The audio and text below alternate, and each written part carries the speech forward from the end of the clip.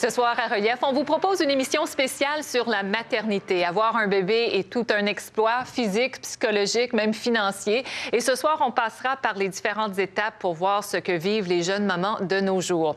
Bonsoir et bienvenue à l'émission.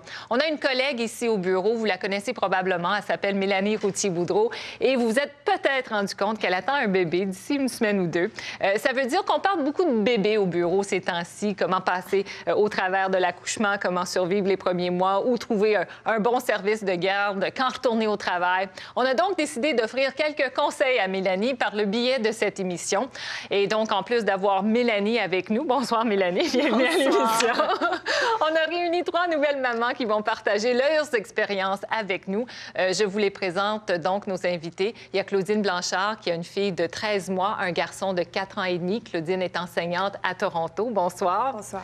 Laura Ikibo a un garçon de 17 mois. Laura travaille euh, dans une garderie. Bonsoir, Laura. Bonsoir, Gisèle. Et Fabienne Hick a un fils de 15 mois. Fabienne euh, travaille pour le gouvernement fédéral. Bonsoir. Bonsoir. Alors, euh, un premier tour de table. environ deux semaines, Mélanie, du grand jour. Qu'est-ce qui occupe vos pensées ces temps-ci? En fait, ça occupe beaucoup de mes pensées. je me dis, le décompte est vraiment lancé. Euh, je pense que c'est de se rendre compte que dans deux semaines, dans deux semaines et demie, ma vie va complètement changer. Je pense que c'est ça qui occupe mes pensées euh, présentement.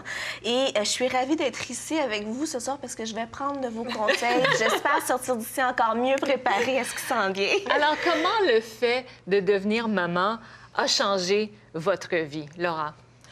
Le fait de devenir un maman m'a changé beaucoup parce que euh, on se retrouve avec une personne en charge. D'abord, quand le bébé est né, tu as moins de sommeil, beaucoup de travail. En tout cas, ça demande beaucoup. Pour moi, en tout cas, ça demandait ah oui, beaucoup. Sûr. Beaucoup de travail, moins de sommeil. Et tu t'occupes du petit trésor qui a besoin de l'attention. Et il faut avoir aussi l'entourage qui t'aide. Et ça, mhm. ça, a vraiment beaucoup m'aider. Mhm. Fabienne? Bien, c'est un petit peu la même chose. C'est soudainement, il y a une personne dont il faut s'occuper. C'est, c'est pas juste s'occuper d'un, animal ou de soi-même, c'est vraiment de, penser à chaque seconde de, notre vie il faut pas qu'il arrive quoi que ce soit à cet enfant-là. Il faut mm-hmm. qu'il soit en santé, il faut qu'il soit bien, il faut qu'il ait chaud, il faut pas qu'il ait froid. Euh, il y a tout cet aspect-là. Puis aussi, le, focus de la vie, soudainement, c'est plus... Euh, c'est plus bon, qu'est-ce que je fais moi, ou euh, s'occuper du couple et tout ça, c'est soudainement, c'est s'occuper de quelqu'un d'autre. Donc, c'est plus le, focus de la vie n'est pas dans le couple, c'est vraiment quelqu'un d'autre. Donc, ça, ça a été un, grand, euh, un grand changement. Mais surtout, c'est la responsabilité de s'occuper de quelqu'un quand on ne sait pas trop quoi faire avec mhm. cet enfant-là. Comme moi, qui n'avais jamais changé une couche de ma vie. C'est ça beaucoup. Claudine, euh, de, de, votre côté, grand changement, c'est-à-dire pas un enfant, mais un grand changement avec l'arrivée du deuxième enfant. Oui, mais en fait, le, changement était plus pour le premier. Oui. Parce que le deuxième, on s'attendait un peu à ça. On savait ce qu'on s'embarquait. C'est moins un choc. C'est ça, c'est moins un choc. Puis le deuxième était, je sais pas, comme ça, plus facile. Euh, mais c'est ça, c'est double responsabilité, c'est prendre soin du plus vieux, s'assurer que lui, il, a, il, interagit avec d'autres enfants de son âge, mais aussi s'occuper du petit bébé. Alors, euh, c'est... Euh, je me souviens quand on était dedans, nous, on se disait ah, il me semble qu'on a fait des choses difficiles dans la vie, mais on n'a jamais fait quelque chose d'aussi difficile que ça, d'élever un enfant. Est-ce que vous êtes passé par ces sentiments-là, vous Ah oui. Oui? Oui, oui. Mais c'est de faire quelque chose qu'on d'entreprendre quelque chose qu'on connaît pas, sans outillage, sans, je veux dire, on peut lire des livres et tout ça, mais il n'y a jamais vraiment de préparation parfaite pour un enfant. Donc, c'est vraiment de faire quelque chose qu'on connaît pas avec aucune préparation concrète. Donc, ça. On vous décourage pas trop, Mélanie? Bien, on se dit, nous, c'est ce qu'on se dit. Est-ce qu'on va savoir justement quoi faire avec cet enfant-là? Les gens autour de nous nous disent, oui, oui, vous allez voir, c'est assez naturel et tout ça, mais euh, on n'a jamais changé une couche. Euh, euh, on ne sait pas à quel moment il faut réveiller le bébé, il faut l'allaiter. Donc, c'est beaucoup, beaucoup de choses. Mais je pense qu'on attaque ça ensemble, en mm-hmm. couple, puis on prend les conseils comme ça des gens autour de nous. nous, on a très hâte. Ça va être... je pense que prendre des cours prénataux aussi, c'est beaucoup mieux. Ça ça ça m'a beaucoup aidé parce que je partais juste en face ici au 22 collège et ça m'a beaucoup aidé dans le sens que en tant que nouvelle maman, tu ne sais pas comment s'y prendre et on te montrait les directives. Quand l'enfant est mouillé, c'est-à-dire peut-être il a besoin de prendre son lait, peut-être il veut que tu puisses vraiment être, il puisse être bien cajolé dans tes bras.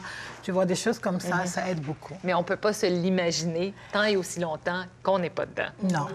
On peut se l'imaginer, mais vraiment pas comme ça. C'est jamais la même chose. Mais je pense qu'on a aussi chacun des, des- des instincts aussi. On veut protéger cet enfant-là. Donc, je pense qu'il y a des choses aussi qui doivent se faire assez naturellement. Mais c'est vrai que je pense qu'il faut vraiment se fier à notre instinct. Puis quand on Voilà. dit apprendre sur le tas, c'est vraiment ça, c'est de dire j'ai comme l'impression qu'il doit avoir faim ou soif ou, ou avoir envie de se faire changer. Il faut vraiment s'écouter. Eh bien, la grande préoccupation avant d'avoir un enfant dans ses bras, c'est l'accouchement, bien sûr. Est-ce que je suis bien préparée? Combien de temps que ça va durer? À quoi va ressembler la douleur? Est-ce que mon bébé sera en bonne santé? La plupart de nos couples de nos jours suivent des cours prénatales. Un couple d'Ottawa a fait un pas de plus en suivant des cours d'hypnonaissance. Voici ce que ça donne. Véronique et Benoît attendent leur premier enfant dans quelques mois et ils ont décidé de vivre cette expérience le plus naturellement possible. Ils ont alors choisi de suivre cinq ateliers d'hypnonaissance avec une sage-femme qui les prépare à cette nouvelle aventure. Nous les avons suivis lors du deuxième et quatrième atelier. L'hypnonaissance, c'est un outil. C'est deux choses. C'est une technique puis une philosophie. Donc, la philosophie, c'est que les naissances, ben, c'est supposé être un événement joyeux, un événement naturel, un événement qui doit on peut garder des souvenirs très agréables. C'est pas supposé faire mal. Donc, ça, c'est la philosophie. Et les techniques que l'on utilise pendant le cours puis pendant l'hypnonaissance, comme des relaxations, des respirations, euh, et de la visualisation, puis beaucoup de préparation mentale euh, et physique et de relâchement de peur. Parce que vraiment, c'est la peur qui crée la, la tension pendant la naissance et la douleur pendant la naissance. L'hypnonaissance, qui permet l'accouchement au naturel, a pour bénéfice d'éviter la prise de pitocin, un médicament qui déclenche de fausses contractions suite à la prise de l'épidurale. Et il augmente la production d'oxytocin, une hormone qui aiderait à l'attachement maman-bébé en réduisant le risque de dépression postnatale, en plus de d'autres avantages à long terme. Euh, moi, c'est une de mes amies qui a accouché il y a deux ans et demi à peu près. Puis elle m'a parlé d'hypnonaissance, puis elle m'a dit à quel point elle avait vécu une belle naissance avec ça. Puis j'ai comparé avec d'autres de mes amis qui ont accouché sans, sans hypnonaissance, puis définitivement, c'est elle qui a, qui a eu la meilleure expérience. Puis j'aimais ça l'idée que ça, ça impliquait Benoît plus que les cours traditionnels de préparation. euh, je pense que l'envie commune aussi, c'est de. euh, c'est d'explorer quelque chose de nouveau, quelque chose qui, qui est un peu hors des sentiers battus classiques en ce moment? Souvent, les papas, ils, ils savent pas trop c'est leur premier bébé ou même le deuxième. Ils ont une expérience, soit une expérience négative la première fois, ou ils savent pas vraiment à quoi s'attendre pendant la naissance. Ils- ils ont peut-être l'impression plutôt de jouer le rôle de spectateur. Donc, une fois que le papa a compris comment ça marche, puis qu'il a les méthodes de relaxation, quoi dire, comment faire, comment aider la maman à se sentir plus à l'aise, c'est comme tout d'un coup un poids qui s'enlève de leurs épaules. Est-ce que vous avez des craintes concrètes face euh, à l'accouchement? Christelle nous fait visionner plein de vidéos de naissance. Puis c'est là que, je- que mon questionnement commence. Mon Dieu, est-ce que je vais être aussi calme? Mais avant ça, j'avais pas de. J'avais jamais vu de naissance de ma vie. Fait que je, sais pas à quoi ça ressemble une naissance. Fait que j'avais pas de crainte. Et cet état de relaxation, grâce à l'hypnonaissance, Geneviève et Karine l'ont atteint lors de deux accouchements qui se sont déroulés naturellement. Dès que tu apprends que tu es enceinte puis tu l'annonces aux gens, oh, ma cousine, elle a accouché, là, puis elle a déchiré jusqu'à la nuque, et puis euh, elle a passé six semaines à l'hôpital parce qu'elle a eu tellement de complications. Puis, tu sais, les gens ont tendance à vouloir nous faire peur. Ben nous autres, on a choisi de faire l'hypnonaissance, et puis une partie de l'hypnonaissance, c'est ce qu'ils appellent un fear release, un relâchement des peurs.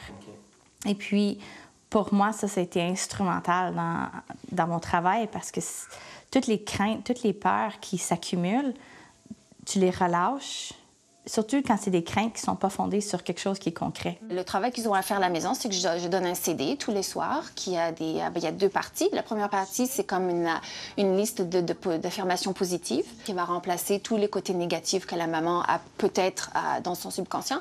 Et la deuxième partie, c'est vraiment une technique de relaxation que la maman doit écouter ben, trois ou quatre fois dans la semaine. On sort du deuxième atelier. Comment, comment est-ce que vous vous sentez? Euh, bien, c'est le fun parce qu'elle nous fait vivre des, des séances de relaxation. Ouais. Fait que, moi, en lisant, je le faisais pas en même temps. Fait que ça, c'était vraiment le fun. Ce qui me plaît le plus en ce moment, c'est qu'on on désensibilise beaucoup de choses. Euh, On nomme beaucoup de choses, puis euh, on, on passe à travers les étapes. C'est rassurant, je trouve. Pour faciliter l'atteinte de l'état de relaxation par le relâchement des peurs, l'hypnonaissance a modifié le vocabulaire traditionnellement utilisé. Une contraction, c'est une vague. Une complication, c'est une circonstance. Et une douleur, c'est une intensité.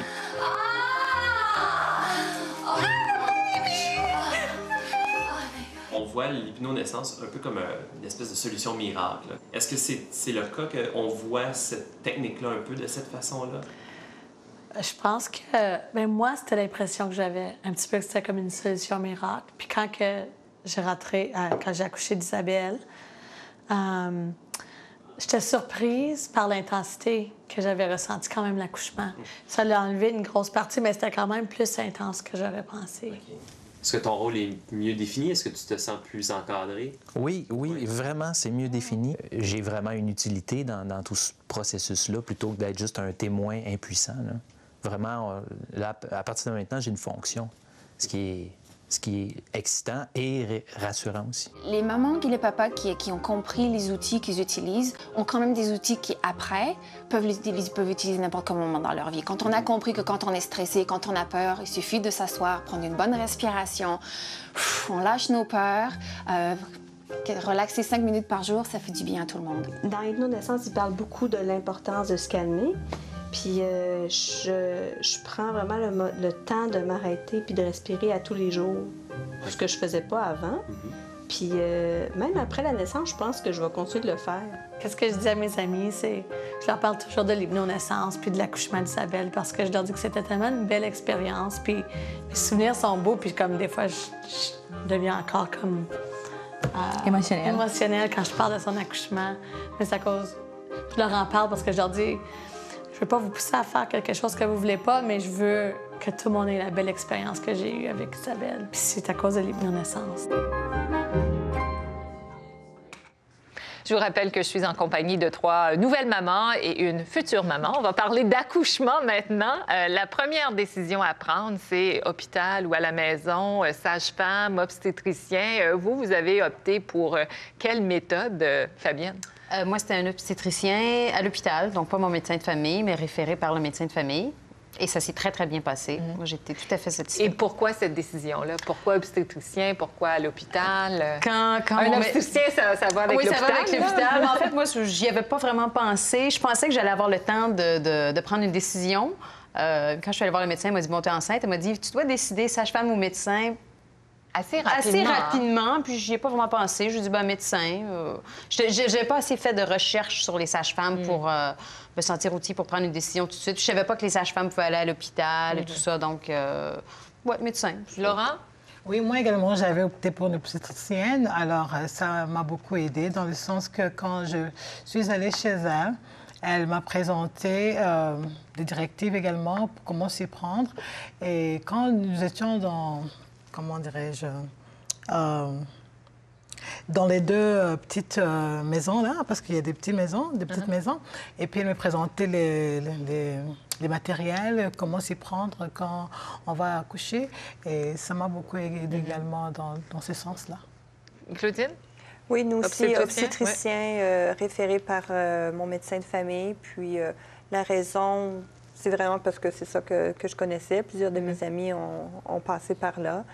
Euh, et nous non plus, on n'avait pas fait de recherche. C'est vraiment souvent les, pré- les cours prénataux qu'on a appris qu'il y avait tellement plus. Mais Là, il est trop déjà tard, c'est ça.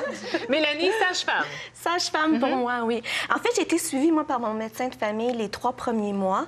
Euh, c'est mon médecin de famille qui m'a expliqué euh, mes choix. Et moi, mon médecin de famille pouvait aussi faire mon accouchement, mais j'ai quand même opté pour une sage-femme. Euh, j'ai pris le temps de faire de la recherche un tout petit peu. Euh, J'aimais beaucoup la philosophie. Euh, je trouvais que c'était un service qui était assez personnalisé. Euh, on passe à peu près 30 à 45 minutes par rendez-vous avec une sage-femme. Donc, j'aimais ça. Je trouvais ça euh, très personnel. Et, et ce qui m'a beaucoup attiré, c'est le suivi après l'accouchement. Les sages-femmes donnent six semaines de suivi avec le bébé, viennent à la maison, t'aident beaucoup avec l'allaitement et tout ça. Donc, pour l'instant, je suis très contente de mon choix. Est-ce que pour celles qui ont déjà eu le bébé, est-ce que c'était une expérience pire ou, ou- ou mieux que vous l'envisagiez? Claudine? l'accouchement, Oui. On s'en souvient pas. Euh, non, pour moi, en fait, j'ai eu l'épidurale dans, dans les deux cas. Alors, euh, moi, ça a très bien été. Je sais À pas c'est quoi. Je, je sais pas c'est quoi une contraction. Alors, pour moi, ça a très bien été. Puis, euh, les deux enfants, c'est oups, le- la poussée est là et oups, le bébé est sorti. C'était Alors, rapide, alors. Ça a été rapide. Laura? Oui, l'épidurale aussi, c'est, en tout cas pour moi, l'épidurale, c'est une invention géniale de la médecine. oui, ça m'a beaucoup aidé également. J'étais là au lit et c'était comme, comme très vite, très vite. Oui. Oui, Pas de douleur. pas de douleur. Fabien? Moi, sans épidural. euh, Est-ce que c'est plaisant? Non, mais euh, ça se fait, puis on l'oublie. Mais c'était pas si... euh, C'est douloureux, mais on, on peut quand même le faire, évidemment. Mélanie, comment toi t'envisages ce moment-là? D'abord, je trouve ça encourageant de voir que les trois ici, ça a quand même été des beaux Oui, accouchements. ça, euh, on s'en est déjà parlé. Moi aussi, les deux, ça c'est s'est super bien passé. Euh, ben moi, j'en- je- j'envisage d'accoucher à l'hôpital avec une sage-femme. Euh, Avec pédurale? En fait, si, si je veux que ce soit ma sage-femme euh, euh, qui fasse l'accouchement, je peux pas avoir euh, d'épidurale. Par contre, je, je peux la prendre quand même et je sens pas nécessairement une pression de la part de la sage-femme. Tu dois pas prendre l'épidurale absolument. Donc, si je décide de le faire, euh, ce qui va se passer, ça va être le, le médecin de garde, le obstétricien qui va être là, qui va faire l'accouchement tout simplement. Euh, je sais pas comment je vais réagir. Peut-être sur le coup, je vais dire je veux absolument une épidurale ou peut-être que je vais pas la prendre. Donc, je me donne euh, l'option ouverte. Euh, le grand moment, le sentiment, ce qu'on ressent quand on a finalement ce bébé dans nos bras. Fabienne? Oh, quelle joie! Quelle joie! Vas-y. On a attendu longtemps pendant neuf mois, c'est pas évident. Alors quand le petit trésor est là, on le prend dans nos bras, on l'embrasse, on pleure, il y a des émotions qui, des émotions très vives qui sont présentes. Alors tu, tu sais, c'est comme si tu dis, oh, en fait, je suis maman. Tu, tu ne crois pas et, et tu tiens le bébé dans tes bras et tu dis, enfin, je suis maman. Il est là. On n'y croit pas. On hein? n'y croit pas en fait. Ouais. Ou le choc. En fait, toi, tu dis quelle joie. Moi, c'est vraiment le choc. J'ai l'impression que pendant plusieurs minutes, j'étais juste sous le choc à le regarder. Puis. Qu'est-ce que je Ah, fais mais, mais oui, c'est ça. Je me dis, oh, wow, il est là enfin. Mais wow, wow, quel. Wow, wow. Je- je- Quelles sont mes émotions? Je sais pas. Quel choc. Moi, vraiment, quel choc. Claudine? Elle était Quand- sous l'effet de. Mais en fait, c'était drôle. Pour mon premier, euh, le médecin m'a dit Veux-tu accoucher de ton bébé? La tête, la tête était sortie, puis je l'ai regardé, j'ai regardé mon conjoint, je dis Mais c'est ça que je suis en train de faire. puis j'ai dit Qu'est-ce que vous voulez dire? Il dit À la prochaine poussée, tu peux le sortir de toi si tu veux. Ah! Et j'ai tellement adoré ça, c'est ce qui est arrivé. Je l'ai- sorti. Donc, allez le chercher. Oui, oui, oui. Ah. Je l'ai sorti, puis il est allé directement sur moi. Puis c'était tellement, c'était tellement, euh, Wow. c'était tellement beau. Puis mon mari et moi, on pleurait, puis on était super heureux. Et ma fille, elle, c'était le contraire. Elle avait du méconium. Alors, elle est sortie, puis Ils l'ont. l'ont pris. Puis moi, je l'avais pas sur moi. Puis pendant 20 minutes, quand est-ce que je peux prendre Ouais. le petit? Alors, ça a, été, ça a été le contraire. Puis finalement, quand je l'ai eu dans mes bras, ça a été comme tellement rassurant. J'étais tellement un soulagement heureuse de la tenir. Avec beaucoup d'amour. Oui, oui, oui. Ben, Vous savez, il y a beaucoup de groupes, beaucoup de cours que les futurs parents peuvent suivre avant la naissance pour aider avec l'accouchement, mais aussi pour créer des liens affectifs avec le bébé. Une nouvelle tendance s'appelle l'aptonomie prénatale. Ça veut dire essentiellement la science du toucher. Claudette Nantel est praticienne d'aptonomie. On va la retrouver dans nos studios d'Ottawa. Bonsoir, Claudette. Bonsoir. Alors, qu'est-ce que c'est l'aptonomie au juste? Bien, l'aptonomie, c'est un mot barbare qui, est, euh, qui tient son origine du mot aptos, qui signifie toucher en grec. Et nomie, ça veut dire la, la- la science, au fond, la science du toucher. Mais la science du toucher dans toutes ses dimensions, à la fois physique et affective. Est-ce que euh, ça existe depuis longtemps, ça? Euh, ça existe euh, depuis euh, plusieurs années, euh, probablement à peu près les, les années euh, 80 à peu près, en France, en Belgique, en Suisse. Et c'est tellement connu en Europe, c'est- bizarre parce que c'est pas connu du tout ou presque en Amérique du Nord, mais c'est tellement connu en France que la sécurité sociale rembourse les suivis aptonomiques. C'est c'est l'équivalent de notre assurance maladie Oui, là, oui. ici. Euh, comment se passe une séance d'aptonomie? Bien, euh, ça se passe, tout est basé sur le toucher. Alors, ce sont des couples qui choisissent d'établir un lien euh, plus, un petit peu plus profond, un lien affectif avec leur enfant. Alors, la première chose qu'on leur montre, c'est ce qu'on appelle des jeux avec le bébé. Euh, on leur montre comment toucher le ventre de la mère pour être dans un toucher d'amour, un toucher affectif. Et puis, euh, on, leur, on leur montre, euh, entre autres, si on veut faire jouer le bébé, on leur montre comment déposer leurs mains sur le ventre et faire juste une petite pression et surtout mettre tout son amour dans sa main.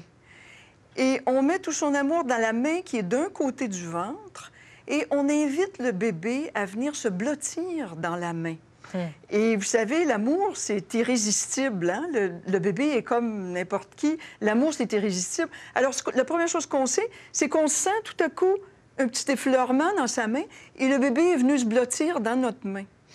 Et là, on- ce qu'on peut faire, c'est qu'on met notre main de l'autre côté et puis on met encore là tout notre amour dans notre main et on dit Coucou bébé, je suis de ce côté-ci.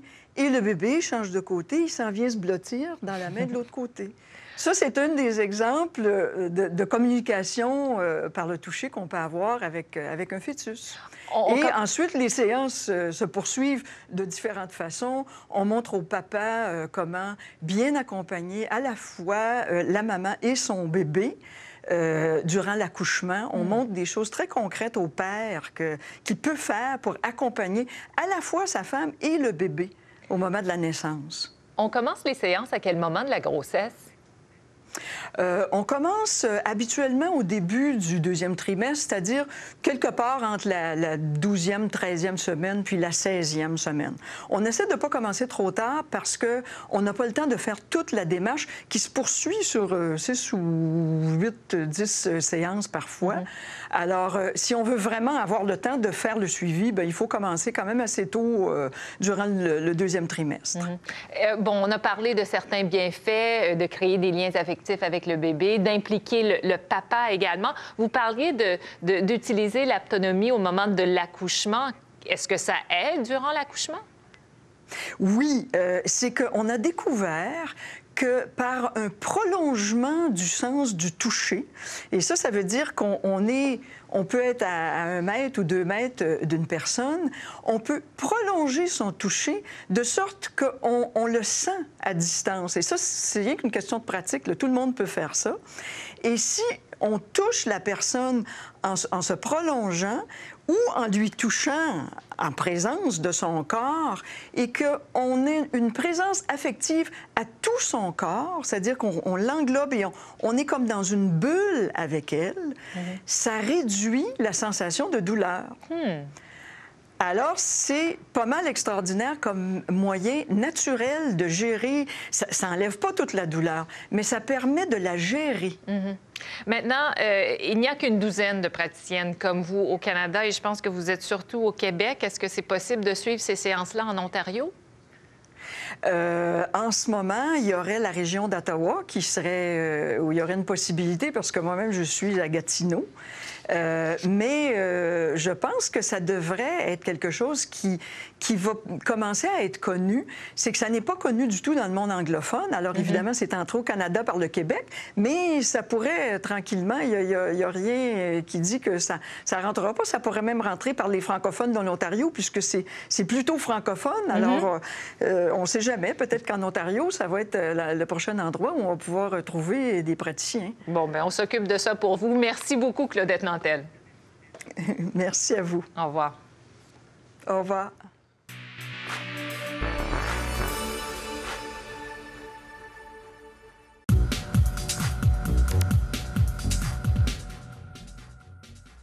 Les futures mamans reçoivent toutes sortes d'informations sur la grossesse et l'accouchement, mais une fois le bébé arrivé, les nouvelles mamans sont souvent laissées à leurs propres moyens. Il faut apprendre à changer une couche, il faut apprendre à donner le bain, il faut apprendre à allaiter. En théorie, c'est un acte naturel, mais en pratique, l'allaitement n'est pas toujours évident, que ce soit dans le confort de votre maison ou en public. L'allaitement. Depuis la nuit des temps, c'est l'acte le plus naturel. Pourtant, au siècle dernier, les femmes l'abandonnent massivement. À partir du début du XXe siècle, euh, il y a eu une baisse, euh, une baisse lente d'allaitement.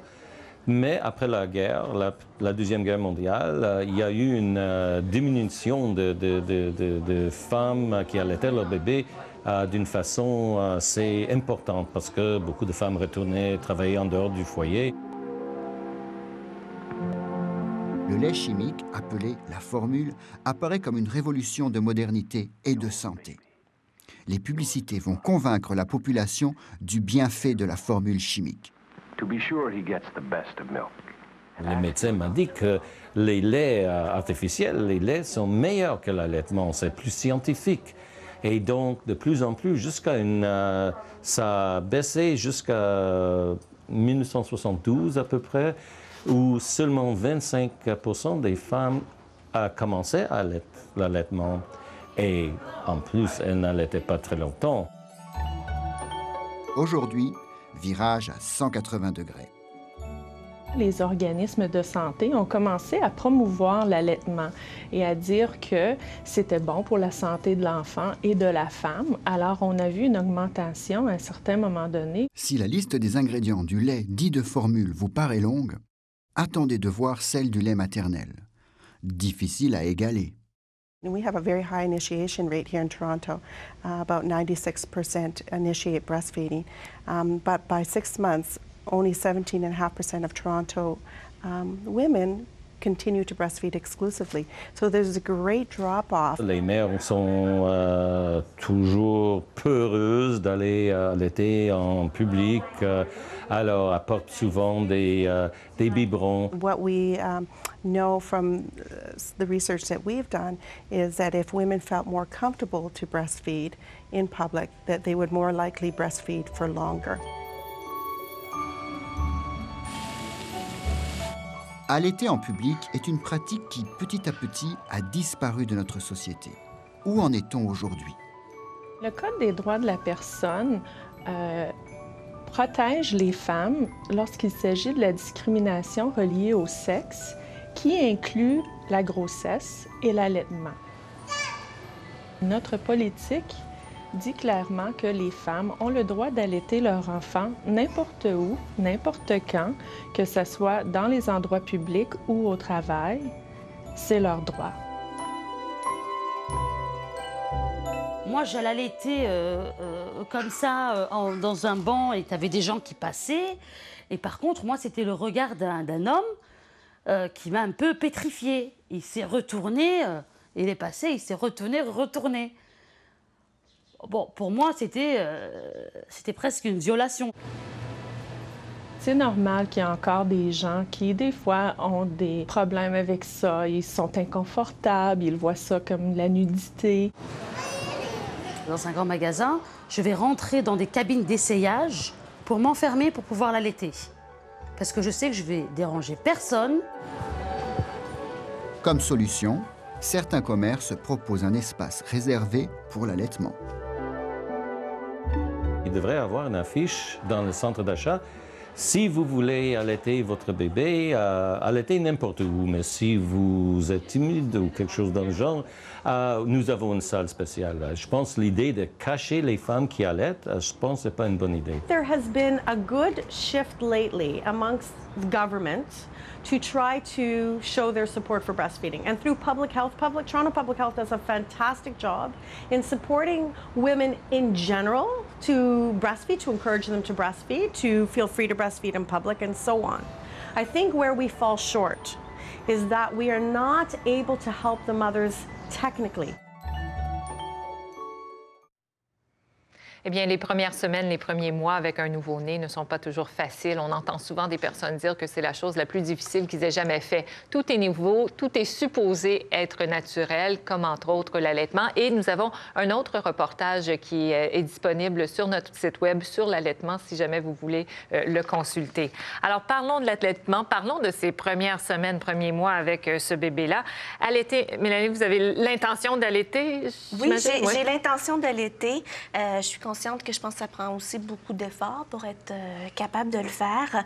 Euh, c'est pas toujours facile, l'allaitement, Euh, mais je vais voir, je vais voir comment ça se passe. Mais euh, je, me laisse la porte ouverte aussi. Puis parfois, ce que je déplore, c'est que on, va, on va rendre les femmes coupables de ne pas allaiter. Puis je pense qu'il y a toutes sortes de raisons aussi pourquoi une femme décide de ne pas allaiter. Puis ça reste un choix très personnel. Il faut respecter le choix de la maman aussi. Fabienne, vous, vous avez choisi de ne pas allaiter. Pour des raisons médicales. Je l'aurais bien fait si j'avais pu. Ouais. Mais euh, donc voilà, donc j'ai pas pu allaiter. Euh, puis c'est vrai que les gens se permettent un droit de regard sur notre vie soudainement quand on n'allaite pas.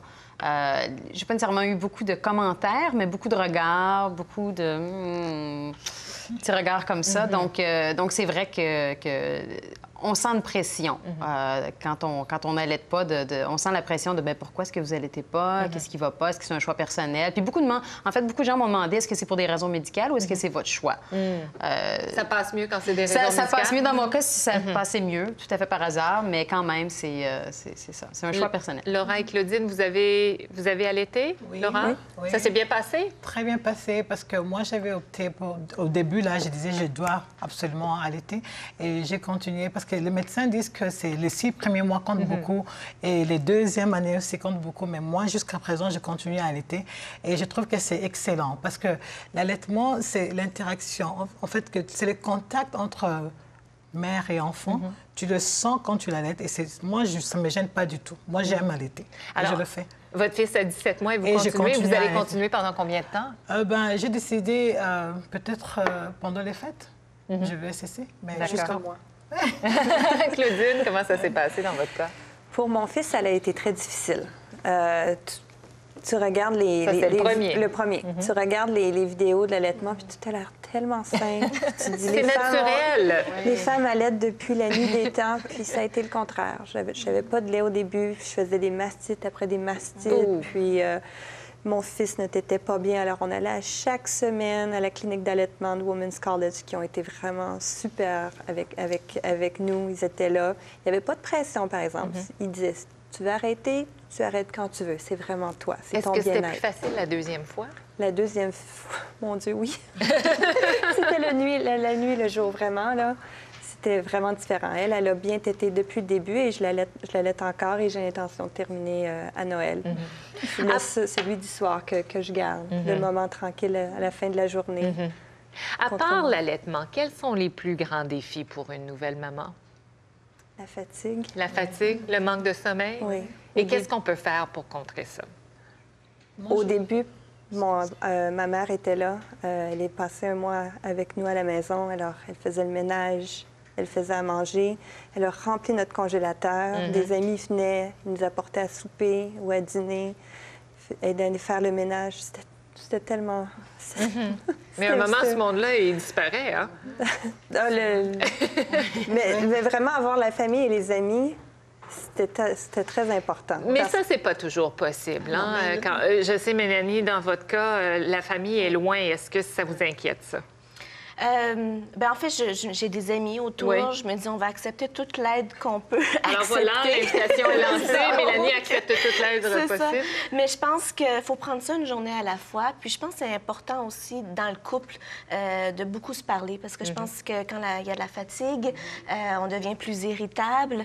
Donc, il faut, faut, faut communiquer ensemble parce qu'on ne veut pas non plus négliger notre vie de couple. Donc, je pense que ça, c'est Mhm. très important aussi pour y arriver, dans le fond, et faire face à ces premiers mois-là Mhm. où euh, on va être très, très fatigué. Le sommeil, est-ce que c'est c'est- c'est- c'est la pire chose? Et est-ce que vous avez des trucs pour contrer ça? Ou Ah, moi, j'ai non, été très chanceuse. Mon fils a très bien dormi depuis le, dé- depuis le début. Je dirais qu'il se levait peut-être aux 3 heures, puis éventuellement, il a fait ses nuits complètes très rapidement. Donc, je suis très chanceuse, à toucher du bois.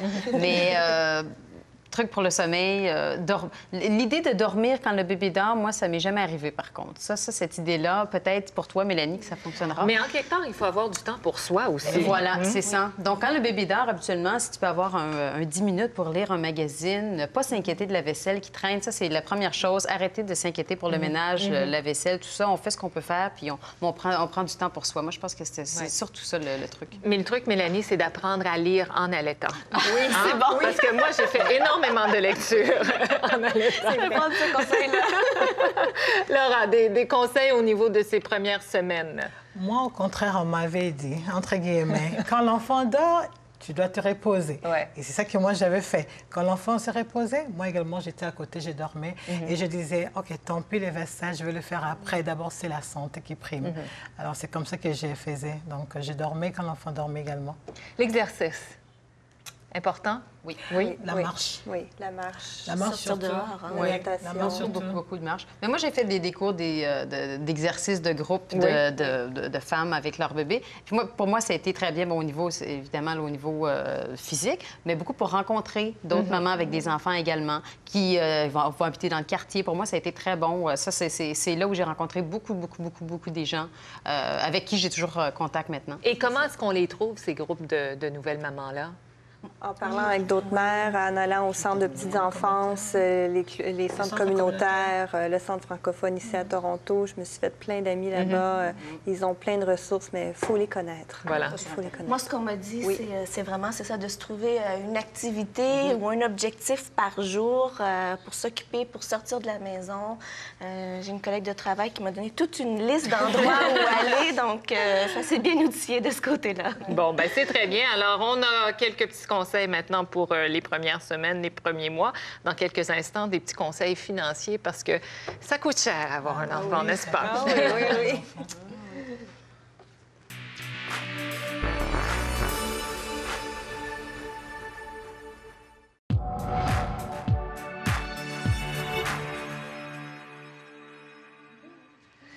Élever un enfant, ça coûte cher. Ça commence avec une poussette. Ensuite, il y a l'équipement de hockey et ça termine avec euh, l'éducation postsecondaire. Pour nous donner une idée de combien ça coûte, on accueille notre chroniqueur en matière de finances personnelles, Jean Reeves. Bonsoir, Jean. Bonsoir, Je ne sais pas si je veux savoir combien ça coûte.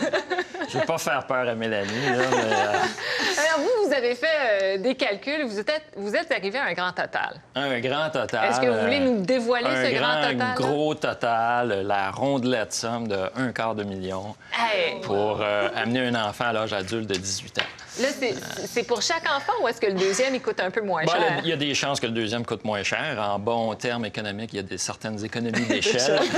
Euh, on recycle les mêmes meubles, etc., etc. Et donc, ça, il faut dire que ça inclut... euh, bon, on part à neuf, alors, Ouais. euh, dépendamment du réseau de soutien qu'on a, très souvent, il y a du recyclage de meubles, de vêtements et autres Ouais. choses. Alors, allons-y. On va décortiquer, en fait, tout ça, ça. selon les étapes de la vie de l'enfant.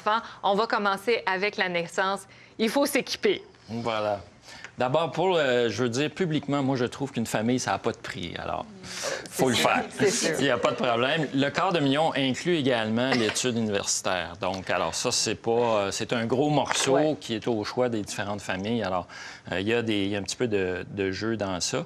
La grande euh, source de ça, finalement, si les gens veulent retourner voir, le magazine Money Sense, en juin dernier, donc juin 2011, a fait euh, un article très détaillé Mhm. où ce qu'ils ont fait, c'est qu'ils sont retournés dans les anciennes statistiques de Statistique Canada. Et ils ont remis ça à jour puisque les données dataient de 2004 et c'était très partiel, c'était basé sur euh, des données du Manitoba. Alors, ils ont fait une moyenne à travers le Canada.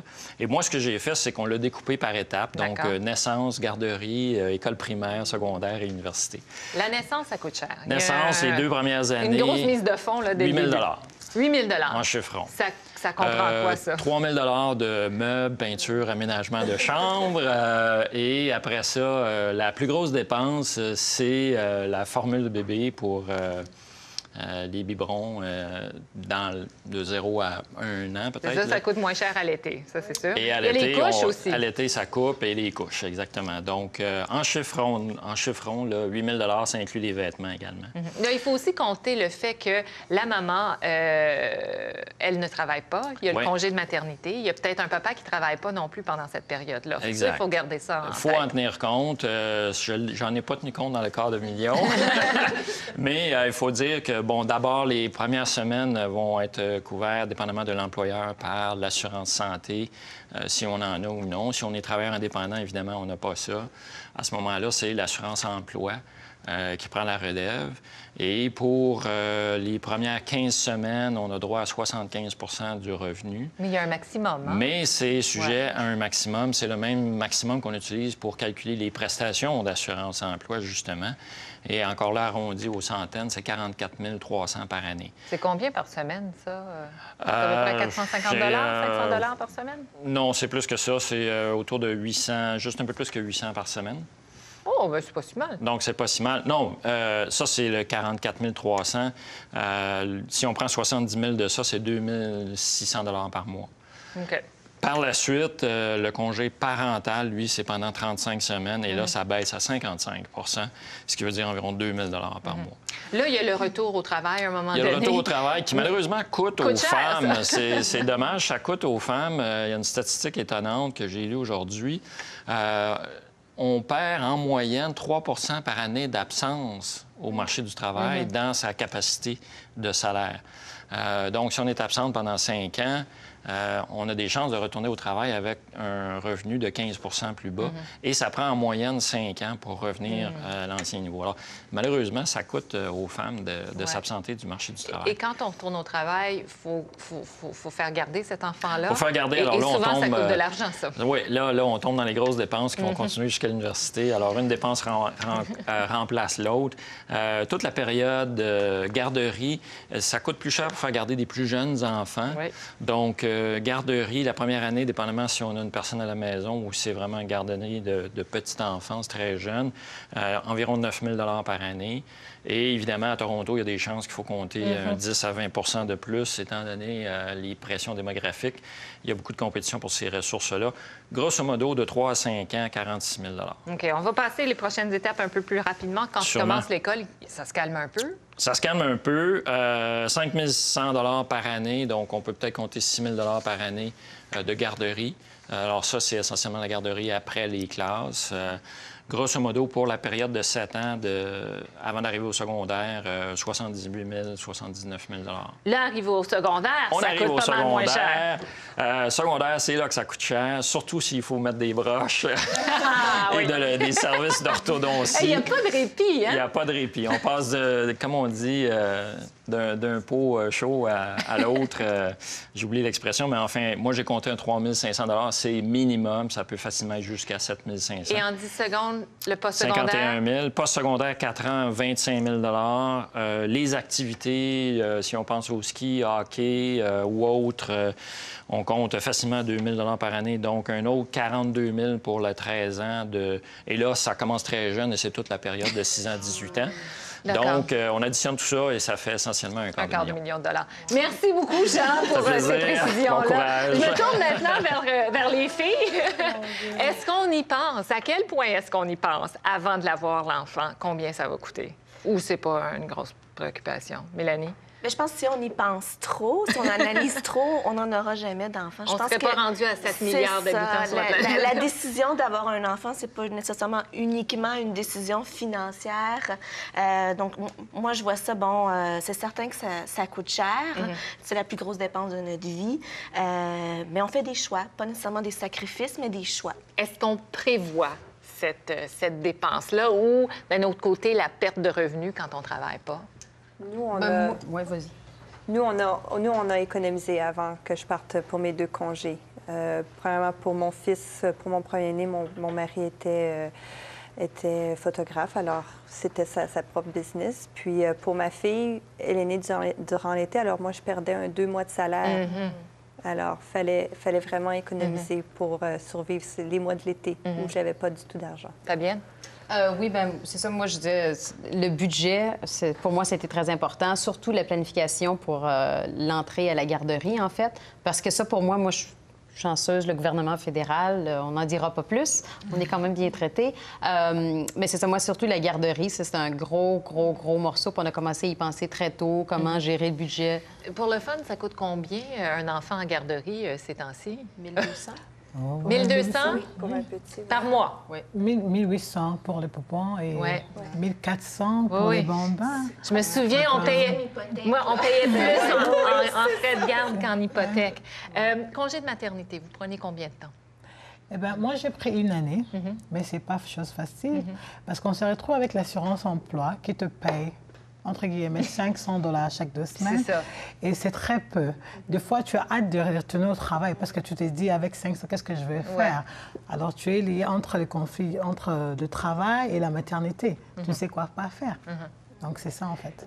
Est-ce qu'il est difficile de réintégrer le milieu du travail après un an? Quand, quand je suis retournée au travail pour mon fils, je suis retournée en janvier, donc c'était milieu de l'année scolaire. C'était les élèves étaient s'étaient, euh, adaptés à une autre enseignante. Moi, je revenais dans la classe, apprendre à connaître ces élèves-là, même si c'est le début de l'année, à quel cheminement ils, ils sont rendus. Alors, c'était quand même difficile pour ma fille. J'ai commencé en septembre. J'étais contente, dans les Mhm. deux cas, de recommencer, de recommencer le travail.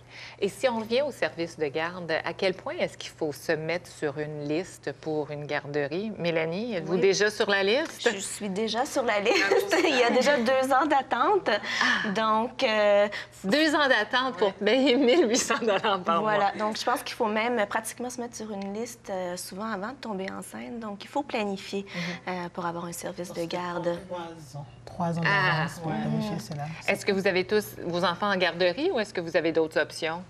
Oui, moi, j'ai opté pour la garderie, Ouais. non pas une gardienne. Oui, d'accord. Moi, je trouve que la garderie, c'est un endroit bien structuré qui, socialise l'enfant, en fait. Et l'enfant est socialisé très tôt.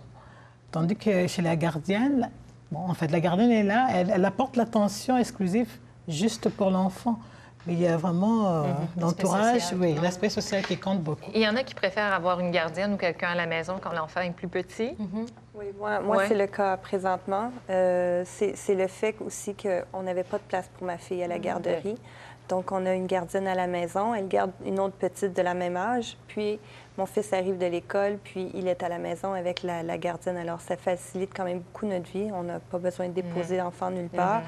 Puis, la gardienne va à différents centres de petite enfance à tous les jours. Alors, euh, elle socialise euh, les enfants quand même, mais on- elle a une autre petite amie, ma fille, à la maison. Est-ce qu'il y en a qui ont de l'aide de la famille? J'en avais Oui. pour mon Ma fils. sœur, c'était un ange pour moi. en passant, je la salue. C'était un ange pour moi. À chaque fois, je suis vraiment très calée. Je l'appelle, je dis Est-ce que tu peux aller chercher le petit pour moi? Sans gêne, elle part. Alors, moi, Parce que quand l'enfant est malade, ils ne le prennent pas à la garderie. hein, C'est ça qu'il faut. bon. Eh bien, on a vu que ça coûte cher avoir un enfant, surtout la première année, mais qu'est-ce que des nouveaux parents ont vraiment besoin? Voici quelques idées qui peuvent servir aussi comme des idées de cadeaux si jamais vous avez des futurs parents dans votre entourage.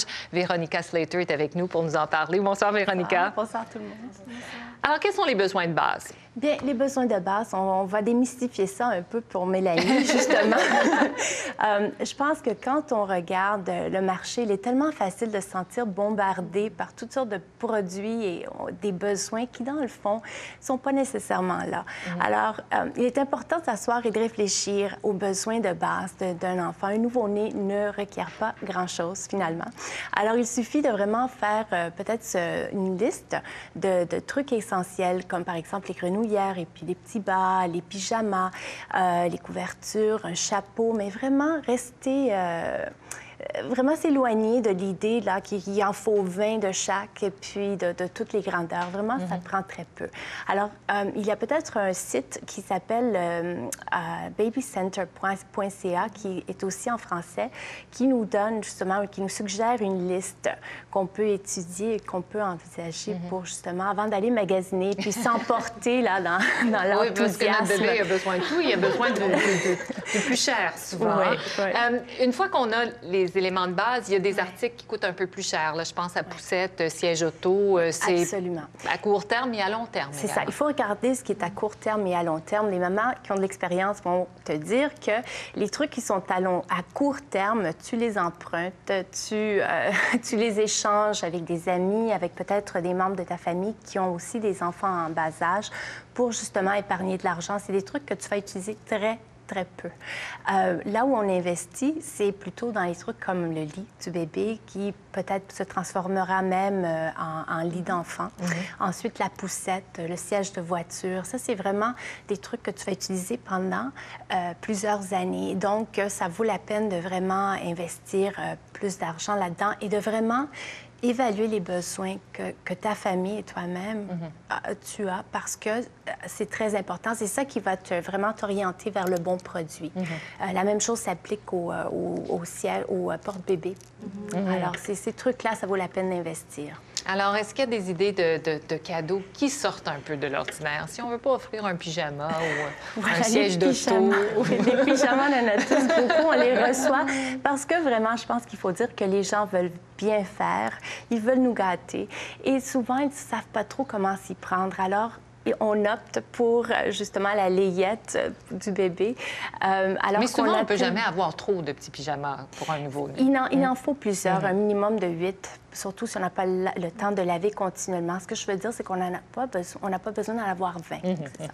Et puis souvent, on finit avec 20 parce que tout le monde nous en donne en cadeau. Alors, il serait peut-être intéressant de, de parler à un membre familial qui est près de toi et pour que cette personne essaie d'aider un peu les gens qui, qui, aimeraient avoir des idées ou peut-être s'enregistrer dans les listes de registres, là, dans les grands magasins, seulement pour orienter les gens qui veulent nous gâter, juste leur dire c'est quoi nos besoins euh, pour qu'ils ils puissent euh, nous aider davantage. Mhm. Et il y a des cadeaux qui peuvent être euh, uniques aussi? Il y a des cadeaux qui peuvent être uniques, en effet. Je pense qu'on prend tellement de temps et, euh, de, temps et d'amour à choisir le nom de nos enfants euh, qu'il est bien, si on veut donner un cadeau personnalisé, d'utiliser ce nom. Une fois qu'il est bon, bien établi et qu'il est bien éplé, là. Alors, une fois qu'on change plus d'idée. Alors, par exemple, les couvertures de Admiral Road sont une excellente idée, des couvertures toutes douces avec le nom de Mhm. l'enfant. C'est des trucs qu'on a tendance à garder. Euh, D'autant plus ils sont utiles. Mhm. Il y a aussi euh, les bancs de Jollywood qui sont bien. Ils ont le nom de l'enfant. Un petit banc, c'est quelque Mhm. chose qu'on a toujours besoin d'avoir. Alors, c'est des choses qu'on a tendance à garder à bien apprécier. On offre des cadeaux aux bébés, mais les parents, ils méritent bien de se faire gâter aussi Ah, un peu. Oui, hein? oui, Mélanie, j'espère qu'on va te gâter. Euh, et puis, je pense que vous, vous l'avez mentionné auparavant, un des cadeaux qui ne coûte pas vraiment très cher et qui sont toujours bien appréciés euh, sont des trucs comme la nourriture. hein? Quand, quand on, si, vous, si vous connaissez quelqu'un qui va avoir un bébé bientôt et vous êtes en train de faire à manger, bien faites, faites-en un petit peu plus, puis apportez-le Mhm. à la famille. C'est toujours tellement apprécié quand on, on manque de sommeil puis qu'on a peu de temps. Mhm.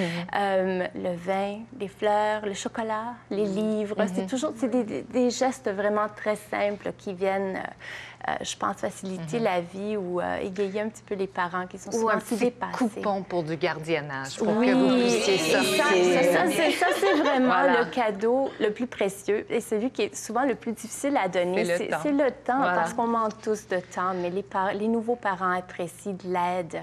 Et aussi, euh, il y a les soins personnels ou peut-être Mhm. les soins, les, les- les services de nettoyage pour la maison. Ah ouais. Alors, vous savez, les cadeaux de groupe, là, c'est des, Mhm. des bonnes idées aussi. Ben, nous, on manque de temps, Véronica. On va devoir se rester là-dessus. Merci beaucoup de ces idées cadeaux. Et moi, Mélanie, avant de se quitter, euh, comme on avait des idées cadeaux, moi, je t'offre tout de suite mon cadeau. Merci beaucoup. Très, très gentil. Merci. Ben, bonne chance. Et puis, Merci euh, beaucoup. On va devoir se quitter euh, là-dessus. Merci beaucoup à nos euh, trois mamans qui sont venues partager leurs expériences avec nous. Merci à Véronica. Merci et surtout bonne chance à Mélanie. Euh, on, on- on vous souhaite à toi et à Patrick beaucoup, beaucoup de bonheur avec ce bébé-là. Alors voilà, c'est tout pour notre émission ce soir. Merci d'avoir été là. On se retrouve demain pour notre émission culturelle du jeudi. À demain.